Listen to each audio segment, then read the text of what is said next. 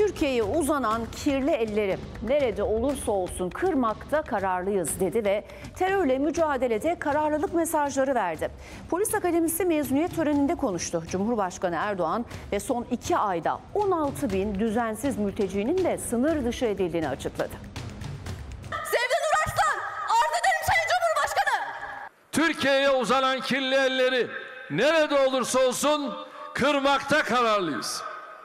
Amacımız terör örgütlerini ülkemize yönelik bir tehdit unsuru olmaktan tamamen çıkarmaktır. Hem ekonomi hem de turizme olumsuz etkisinden bahsetti. Küresel sistemde söz sahibi olmak istiyorsak terörü bitirmemiz şart mesajı verdi. Kandil'deki terör baronlarının sesleri kesilmedikçe iç siyasetimizi dizayn etme çabalarının önünü alamayız. Cumhurbaşkanı Erdoğan Polis Akademisi Polis Meslek Yüksekokulları mezuniyet törenine katıldı. Mesajlarını terörle mücadele üzerinden verdi. Örgütü sadece sınırlarımız içinde değil, Irak ve Suriye sahasında da başını kaldıramaz hale getirdik. Suriyeli mülteciler konusu da gündemindeydi. Son iki ayda 36 bin düzensiz göçmenin yakalandığını, 16 bininin sınır dışı edildiğini açıkladı Erdoğan. Ne güvenliğimizden taviz vereceğiz, ne vatandaşımızı sıkıntıya sokacağız, ne de milletimize lütfen buna dikkat edin.